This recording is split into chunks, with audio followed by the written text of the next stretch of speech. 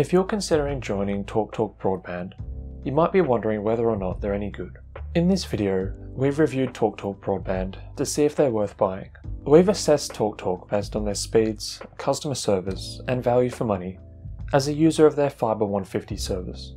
Before we begin, to learn more about our experience with TalkTalk, read our review of their Fiber 150 package, which is the first link in the description. In this article, we've discussed TalkTalk Broadband in more detail and described more of our experiences with them as a customer. Let's get started.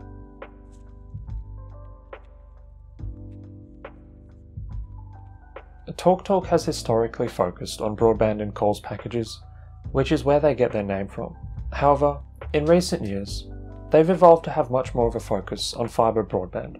At full fibre addresses, there are currently four packages available. Fibre 65, which offers 70 to 78 megabits per second, Fibre 150, which is what we're using, which offers 150 to 153 megabits per second. Fibre 500, which offers 517 to 526 megabits per second.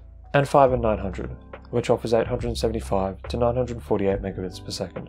If you can't get fibre to the premises broadband where you live, these options will look a bit different. You'll likely have the choice of Fibre 65 with a slightly slower download speed, or Fibre 35, which offers 38 megabits.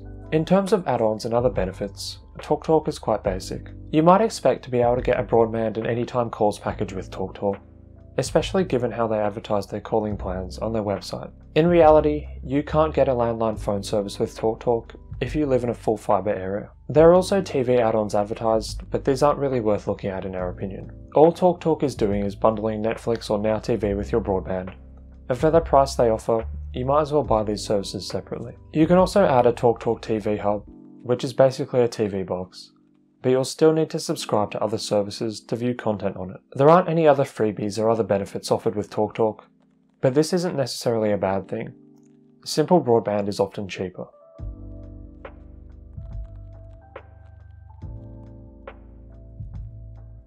We found TalkTalk Broadband easy enough to set up and get live with. No engineer visit was necessary, although this might not be the case if you've never used full fibre broadband at your address before. The router arrived quickly in the mail and was also easy to set up. To get started, all we really had to do was plug and play.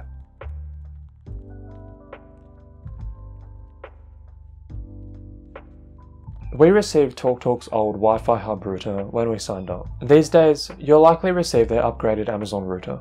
This newer router is Wi-Fi 6 enabled and offers better signal and speeds than the old one. In saying this, we've been quite satisfied with TalkTalk's old Wi-Fi hub router. Although it doesn't offer Wi-Fi 6, it does come with 4 gigabit Ethernet ports, which is plenty for us, and it's also offered good signal. We've been using this router in a medium-sized flat, and haven't had the need to install any mesh Wi-Fi systems or use any Wi-Fi extenders, which is quite nice. If you were using this router in a larger house, you might want to boost your signal a bit, just so it reaches the far corners a bit more easily. The one issue we had with this router was when we first joined TalkTalk, the connection would drop out once or twice a month. In the short term, we could fix this by restarting the router, but the problem was quite annoying.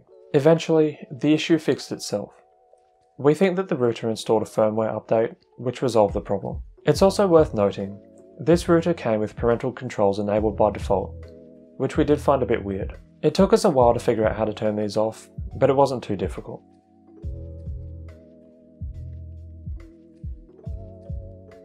As a Fiber 150 customer, we're paying for download speeds of between 150 and 153 megabits per second, with a minimum of 120 megabits. We're also paying for an upload speed of between 29 to 30 megabits per second. Most of the time, we get the advertised download and upload speeds on a consistent basis. We've never had any issues with slow speeds, and we don't suffer from evening congestion. Here is a typical Wi-Fi speed test result.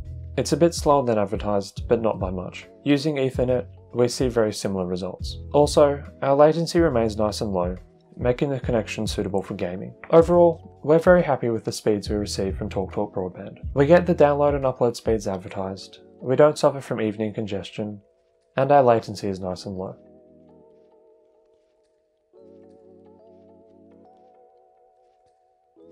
We've only very rarely had to speak with TalkTalk customer service in the few years that we've been a customer. However, when we have had to get in touch, TalkTalk has been quite helpful. When we first joined, we had a landline phone service because TalkTalk was still offering this by default on their fibre packages. We weren't using the home phone, so we called TalkTalk and asked if we could have this service removed to save some money. TalkTalk was quite helpful here.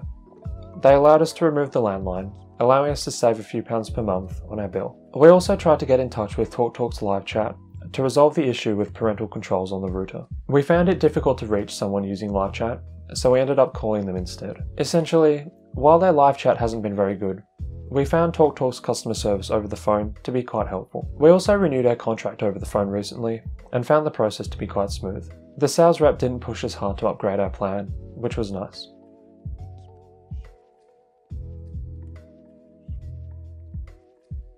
While our experience with TalkTalk has been great so far, this isn't saying much if the price is no good. Fortunately, since TalkTalk is quite a basic provider, their prices are very reasonable. We're quite happy with the monthly cost we pay for Fibre 150 when we compare it to the cost of similar plans from BT, PlusNet and Sky. If you look at their website, TalkTalk also offers quite competitive prices on their ultra-fast fibre plans if you need faster download speeds. But for most households, we think that Fibre 150 offers the best value for money unless you really need these ultra fast speeds. Also, TalkTalk doesn't charge an upfront cost on most of their deals, which is a nice touch. To see what prices TalkTalk is currently offering, you can find their best deals using the link in the written TalkTalk review on our website. Click on our review using the first link in the description, then click through to the TalkTalk website to see their best deals.